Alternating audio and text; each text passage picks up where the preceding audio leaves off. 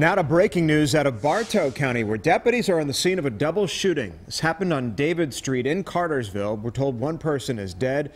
Medics rushed the other person to the hospital. We're working on getting more information about just what happened here, and we'll bring you a live report from Bartow tonight at 6.